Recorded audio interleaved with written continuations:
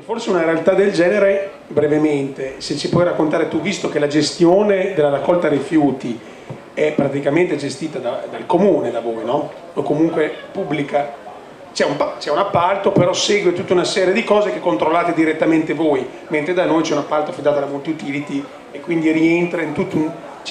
Cioè questo, come riuscire a ovviare questo problema? Di subappalti dati o a ditte un po' strane dove strane sta a volte purtroppo per malavita, oppure ditte che sfruttano i lavoratori. Sì, noi non abbiamo una gestione comunale del servizio, un comune piccolo non sarebbe in grado di... Noi facciamo degli appalti, delle gare che hanno una loro durata e eh, ci sono delle ditte piuttosto che delle cooperative che vincono. Attualmente a Roncadelle prima era gestita da una ditta privata di un comune qui vicino, adesso è gestita da una cooperativa friulana mi sembrano persone serie dal punto di vista dell'efficienza del servizio, nulla da dire, eh, né prima né dopo sono mai ricorsi a subappalti, quindi non era consentito questo strumento, il che è già una semplificazione, un elemento positivo perché la catena, come si dice, di comando si, si, accor si accorcia. Eh, chiaro però che ci vuole un'attenzione anche nei confronti delle ditte che vincono, anche se queste poi non subappaltano il, il servizio. Eh, per quanto ci riguarda comunque devo dire né prima né adesso ci sono subappalti e quindi un, un grado di controllo in più l'amministrazione eh, lo fa. Diciamo che c'è un buon rapporto anche per quanto riguarda la segnalazione di eh, persone che, che, hanno bisogno e che cercano e che loro selezionano ovviamente nel, in libertà di, della, della valutazione. E, mm, se, se, posso collegarmi a quest'ultima cosa che dicevo eh, eh, per rispondere alla, alla, prima domanda che era stata fatta, e cioè eh, come siamo messi dal punto di vista dei servizi sociali.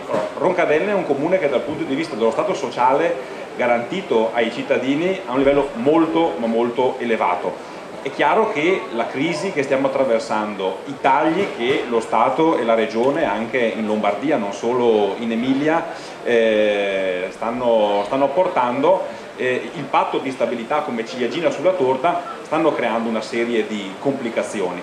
Quello che però noi abbiamo fatto in questi ultimi due anni, che sono stati quelli più critici, pur nella esigenza di ridimensionare e tagliare alcuni servizi e alcune cose che si facevano, la scelta precisa è stata quella però di non toccare gli investimenti su scuola, formazione e politiche sociali.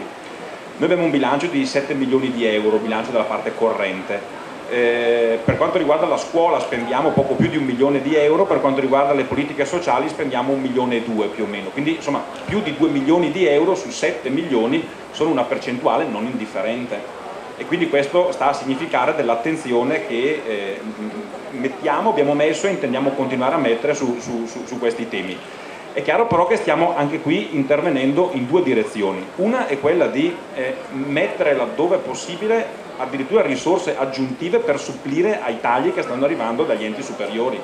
Cioè ci sono alcuni capitoli come l'assistenza persona piuttosto che la non autosufficienza che non, non sono stati ritoccati, sono stati quasi azzerati e quindi questi servizi che prima venivano garantiti grazie ai fondi regionali dai piani di zona, sono piani che eh, raggruppano eh, certo numero di comuni, oggi questi servizi i piani di zona non sono più in grado di erogarli e quindi la scelta che i comuni si trovano a fare è o dire cari cittadini, sono finiti i soldi, arrangiatevi, oppure quella di dire cerchiamo in qualche modo di tagliare il tagliabile, fare magari un taglio in meno dell'erba eh, nei parchi, ma salvaguardare eh, eh, le politiche sociali che secondo me sono un elemento qualificante di attenzione nei confronti in particolar modo di chi è più sfortunato e ha più bisogno. L'altra cosa che stiamo facendo è quella di ehm, calibrare un po' meglio l'intervento. Cioè, noi, devo dire, i nostri cittadini li avevamo anche un po' viziati, faccio un esempio, i libri triennali della scuola media li fornivamo gratuitamente come eh, eh, sostegno, diciamo, a, come parziale sostegno a dei costi che tutti sappiamo essere a volte, soprattutto in questo periodo, esagerati per far studiare i propri figli. L'abbiamo fino adesso garantito a tutti. Ecco, la, la, il periodo di difficoltà in cui siamo entrati ci sta imponendo anche qui la selezione e quindi anche, anche su questo, ho fatto un esempio ma è un discorso che stiamo diffondendo anche ad altri servizi, saremo costretti a fare una maggiore selezione e quindi attraverso l'ISA, attraverso un discorso di redditi, andare incontro a chi ha effettivamente più bisogno. E quindi questo è, è, è un modo, è un modo di, di, di, di, lavorare che salvaguarda l'equità nella consapevolezza che stiamo... Beh, insomma... E lei se alza, il, se abbassa il reddito ISE, taglia più persone che più tempo.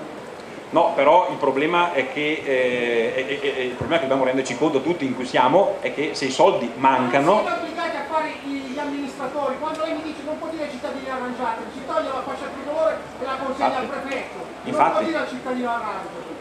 Scusa. Infatti nessuno ha detto, meno tra di noi, che... Ho, no, ho detto che la scelta che un. Nel momento in cui Stato, ripeto quello che è, nel momento in cui Stato e Regione non tagliano, azzerano determinati finanziamenti che fino a ieri hanno, eroga- hanno consentito di erogare determinati servizi.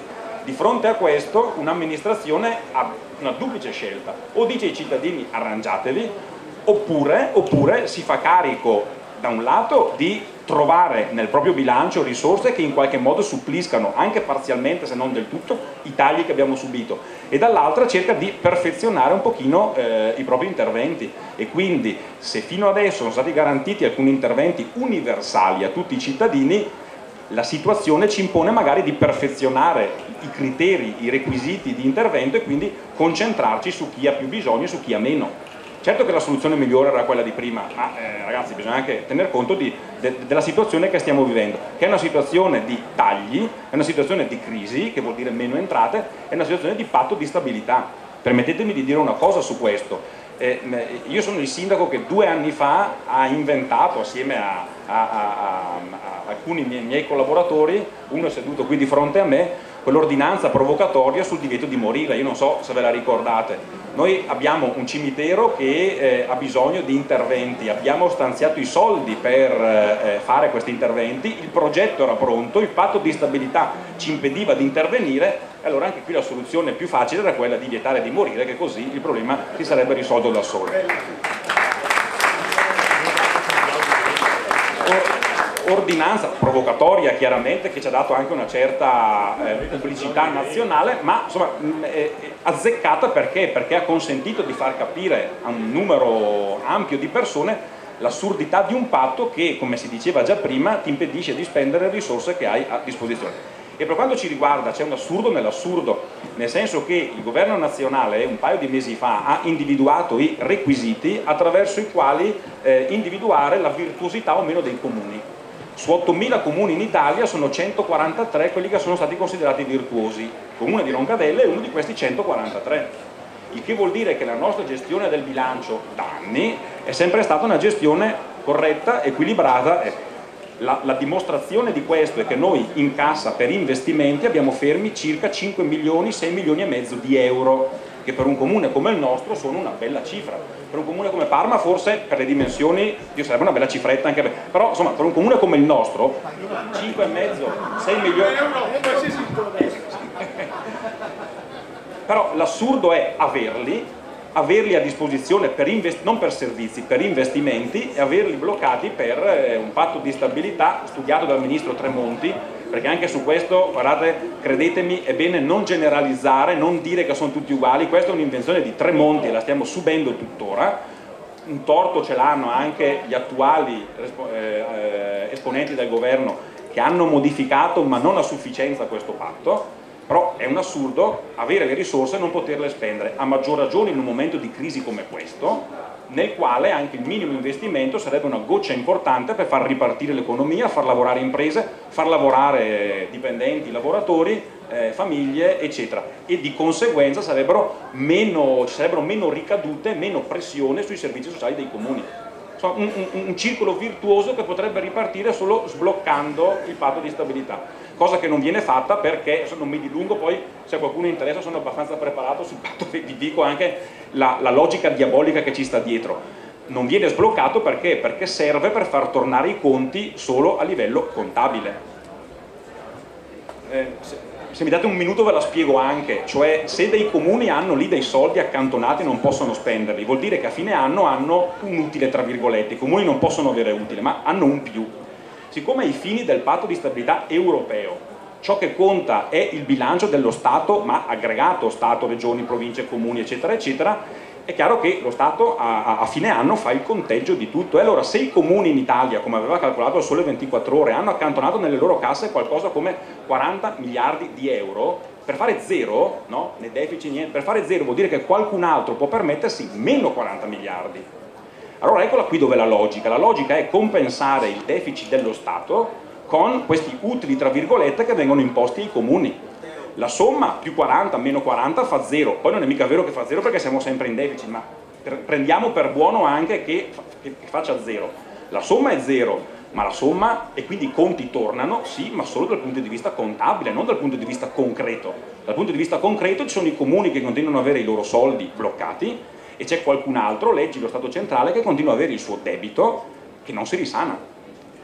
I tagli ai trasferimenti ai comuni, seppur negativi, una loro logica ce l'hanno, perché sono meno soldi che lo Stato dà ai comuni, quindi sono più soldi che tiene a livello centrale, quindi in qualche modo diciamo, ne, ne, ha, ne, ha, a disposizione per risanare. Insomma, no, un senso ce l'ha. Il patto di stabilità invece ha un senso solo dal punto di vista contabile. Mi stupisce come l'Europa abbia eh, creduto a questa versione per anni, poi a un certo punto, come quando si mette la polvere sotto il tappeto, arriva un bel colpo di vento e via. I primi che sono stati per aria sono stati i greci che hanno fatto una roba simile e subito dopo ci siamo noi. Però ragazzi questa è la logica di una, un, un, modo di governare, di quelli che hanno governato fino a un anno fa, che non aveva l'obiettivo di risanare per davvero, ma aveva l'obiettivo di tirare avanti, mettendo in difficoltà comuni virtuosi come il nostro.